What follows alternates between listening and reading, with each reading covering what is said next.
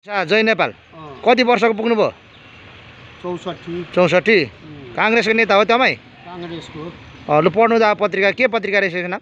यो हिमपात सन्देश। के लेखेर रहेछ? नगर प्रहरीको आफ्नै समस्या छ। गाईघाटको व्यापार चौपट भएछ हेडलाइनमा यता मेयर बन्न तयार उपमेयरहरू। एकजना दुईजना तिन चार पाँचजना छन्। अरू अरू हेर्नु अरू। अगाडिपट्टि, अगाडि। गाईघाटसम्मको व्यापार अगाडि पनि अगाडि। पनि भन्छन्। यतापट्टि तपाईँको हिमपात सन्देशमा के छ? हेडलाइनमा तिजुगामा विकास निरन्तर। निरन्तर विकास भएको छ? निरन्तर। के को निरन्तर हुनु? छैन? धेरै अधुरा छ। तिर्जुगा बानीसँगले पर्यटन बढाउँदै। तपाईँ बानिज्यसँग पनि मान्छे होइन? हजुर म यता, यता। निवर्तमान यो मान्छे को? यो हाम्रो त સુનીતા રાય બંને એ ચિંદર છે તો